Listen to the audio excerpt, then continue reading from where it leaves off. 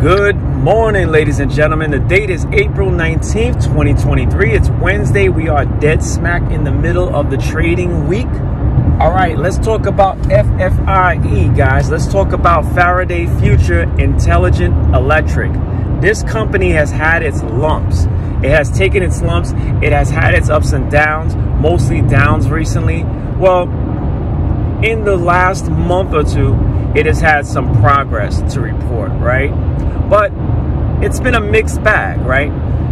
They they did the uh, they started their production March 20 March 30th or so, and they promised or they said that they would have cars rolling off or rolling off the assembly line and into the streets and into the the possession of people who put down their first um, their pre-orders by late April. Well, we're we're approaching late April, and so a couple of uh, about a week back, an article came out that said that that date of the the late April date is not going to happen. Not it's it's a little bit back on schedule. It's a little bit delayed, and so it's looking more like June now, late May, June.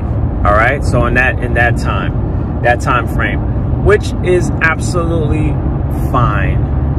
Um, it's fine if you if you initially believe in the idea, the logical, common sense approach to thinking about this stock and its potential. Um, this setback should not change that.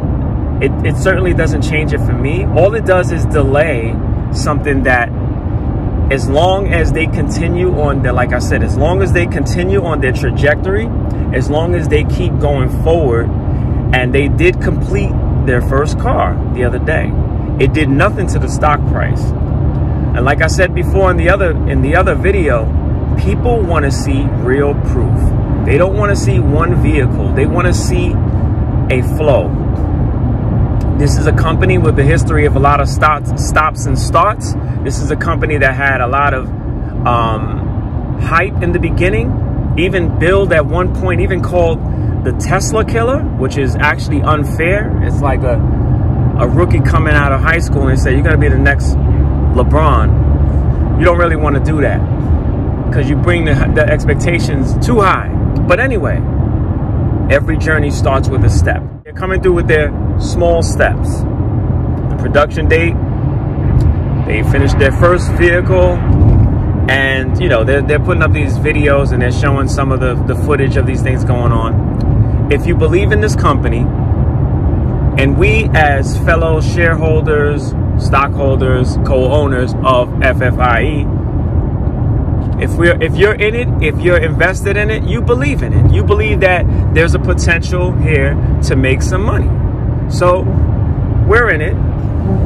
And I'm, uh, I just saying this before. I should have actually said this on the top of this video, but of course you know I am not a financial advisor. Have never been, never will be. But I'm giving my opinion on this and my logical perspective because this company has a lot of potential. Now, not everything looks great you know, when, when, especially when you're getting in on like a ground floor level like this, right? I mean, I don't care what your average is right now. Say you bought the say you bought the stock back when it went up to like a dollar something a few months ago, and you're in underwater, right?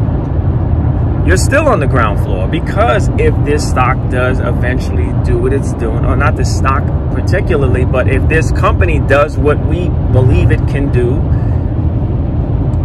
then a dollar average is not bad at all. I'll tell you that. All right.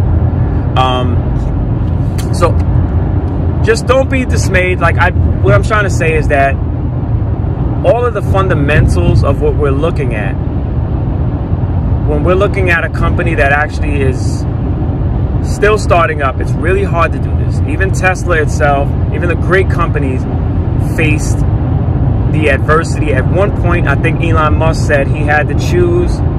Um, he, there was a there was a time when he had to make a decision between SpaceX and Tesla, and he said, "Well, you know what?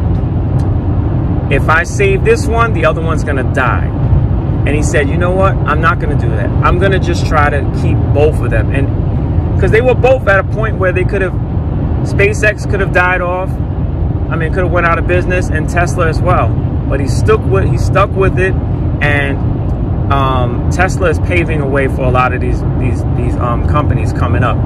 And as this is a new wave, we're, we're going into, there's, there's no reversing this anymore. We're going to be um, a civilization that's doing away with these these clunkers and using oil and these these different kinds of gasoline cars. Those things are over. Faraday is part of that future, I believe. Um, don't be dismayed. Do not put your money in this if you don't don't put your rent in this. Don't put your mortgage in this. Again, that's I want. That's that's my advice to you. Okay, that's my advice to you. Um, a lot of these gems, a lot of these gems do not look great at first. The price action does not look great. I've seen analysis on this on this stock.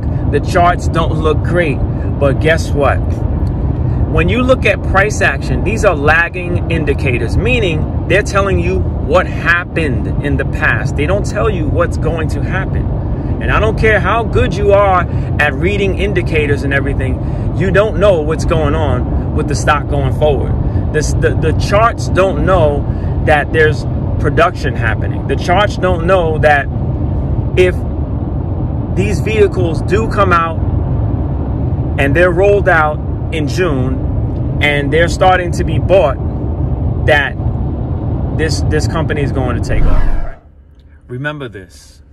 So financial freedom is available to those who learn about it and work for it. That was said by Robert Kiyosaki. So do your own research, use common sense. And this has just been a logical perspective. Go out there and have a tremendous day.